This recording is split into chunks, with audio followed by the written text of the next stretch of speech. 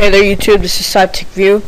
Today I'm going to show you how to get how to start private browsing in um, the common browsers on Safari, Firefox, um, Google Chrome, and Internet Explorer.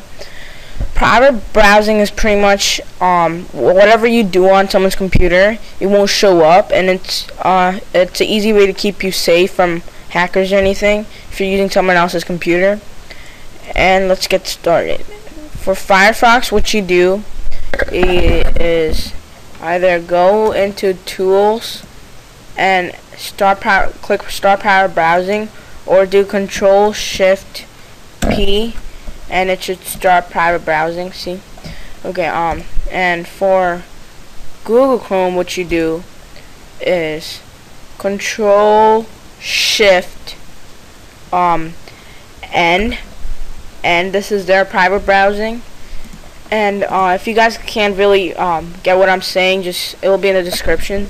Again for Internet Explorer what you need to do is the same thing as Firefox which is control shift P and it's and it's private or private browsing.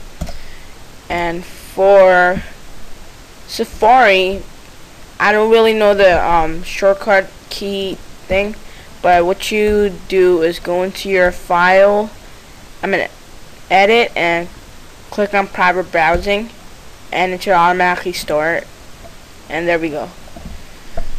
Um yeah this is pretty much it. Um you I usually use private browsing on other computers where I don't want anybody to see what I'm doing or anything I filled out.